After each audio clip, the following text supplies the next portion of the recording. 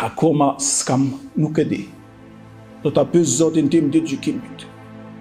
Këtu jam akoma i pakuptim se si i mjek, se si një doktor, i cili studion trupin e njeriut dhe s'beson Zot, akoma nuk e kam kuptu si mund ndodhë.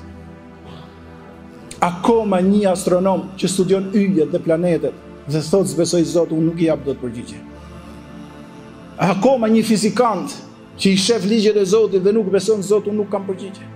Nuk di unë me mpyt dikush nuk di se si mundet ky që i shef shenjat e të madhit Zot, mos i besoj ato.